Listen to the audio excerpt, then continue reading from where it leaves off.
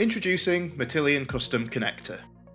With this feature, you can build your own custom connector to load any data from any REST API into your cloud data warehouse using Matillion Data Loader. In this video, we'll show you how to use Matillion Custom Connector to create a custom data source connector, then use it to build a data pipeline in Matillion Data Loader. We'll be connecting to a public REST API to retrieve data. Then using Matillion Data Loader, you can extract the data from the API and bring it into your data warehouse or data lake. First we'll need a REST API that you want to try out. For this example, we'll use a public API for weather forecast data. Details will be in the video description if you want to follow along. To begin creating your custom connector, go to the Matillion Custom Connector site at create-connector.matillion.com. To get started, click Connectors, then Add Connector to begin setting up your custom connector. The Custom Connector wizard will then begin. This is separated into three main sections, Request, Structure and Pagination. First, we'll need to name the connector. Click on the Edit button next to Untitled Connector. For this example, we'll name it Weather Forecast. The name you use here doesn't have to relate to the REST API you are accessing, but using relevant names and descriptions will make managing your connectors easier. Now we can enter the endpoint URL for the public weather forecast API and start building our connector. We then need to set the request to either GET or POST, depending on your API. For this example, we'll be looking at a GET request. Authentication Choose the authentication type for the API you are using by clicking the dropdown. The available options are Basic Auth, which requires the username and password used to access the third-party service. Bearer token requires a single bearer token from your third-party service. API key requires a key name and the value of the key. Additionally, you can set the API key as the header or query parameter and OAuth, which requires an OAuth entry. Select one from the drop-down or click Add a new OAuth. For this example, no authentication is required, so we'll select No Auth.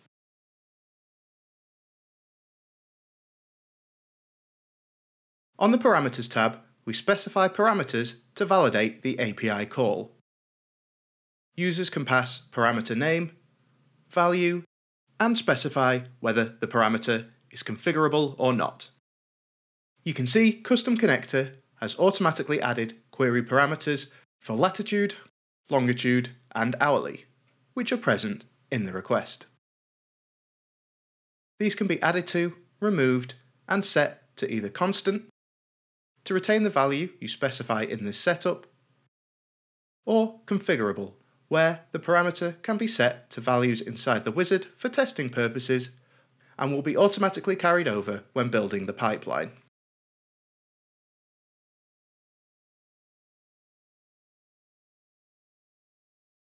Moving to the Headers tab, here you can specify any request headers that define the HTTPS interaction. This section could be used to define the media type of the response or for any information that helps the client know how to process the response body correctly. For authentication specific headers, use the Authentication tab to ensure they're managed with the appropriate level of security. Some headers are included and set automatically, such as connection and accept encoding. These headers can be overridden here if needed. So, for example, we can add an additional header parameter, content type, of application JSON. To specify, we only want to request JSON from the API. The body section is used for any data sent from the client to your API and is only used for POST requests. As this example we're looking at is a GET request, it will remain uneditable. Before moving on to the Structure tab, click Send and the API response and request window will appear. In the Response tab, we can see the successful API call for hourly temperature data for the specified location. The Request tab shows us the URL, header and body of the request that we sent.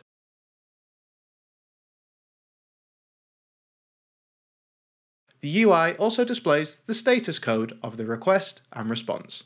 For example, 200 for success.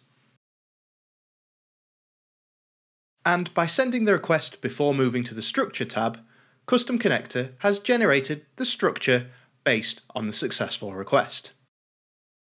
Elements in the structure can be configured, edited, and deleted to suit your requirements. For example, we could remove an element entirely, or change the data type.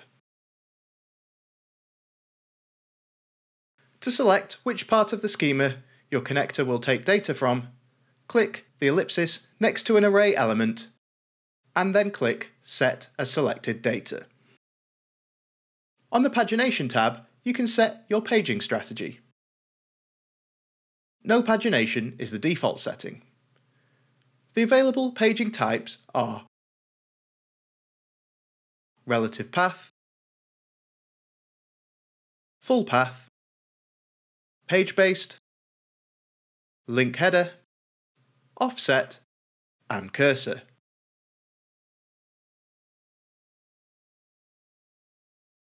So, for example, we could use paging to return a row count of a field by using the offset paging type. Select offset from the paging strategy dropdown and select a field from the tree to count the total number of records.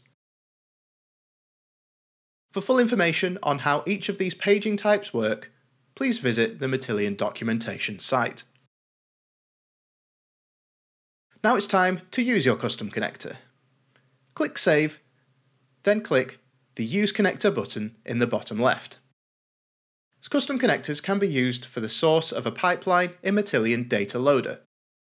Also, it can be exported for use in Matillion ETL.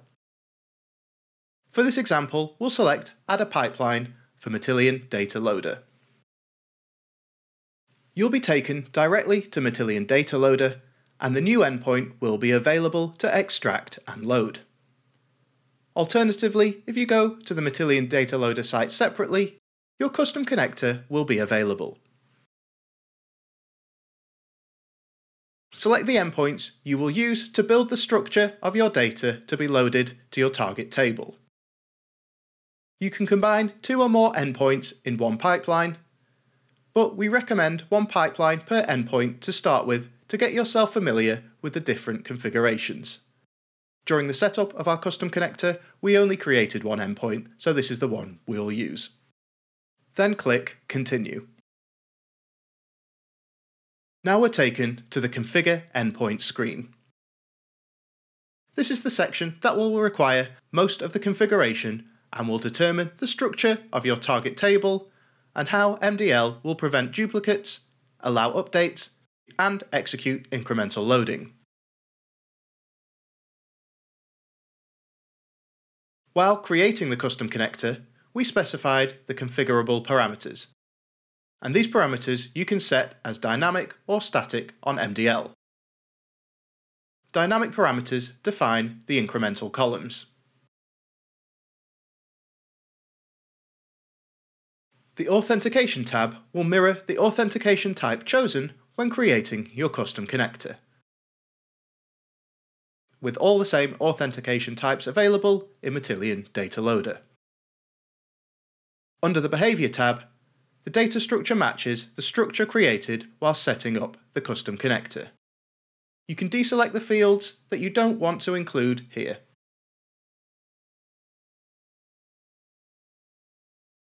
Next, under the Keys tab, set the key column.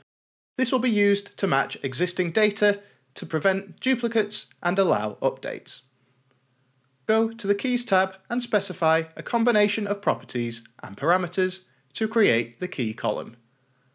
For this example, we'll select the hourly time property. Next, we'll configure the destination. You'll need to enter the connection details of your Snowflake account. Select the staging location, data warehouse, database, and schema. We recommend adding a table prefix to ensure the target table is unique. Click Continue and add a unique name for your pipeline and specify how frequently you'd like the pipeline to sync data between your custom connector and your target table.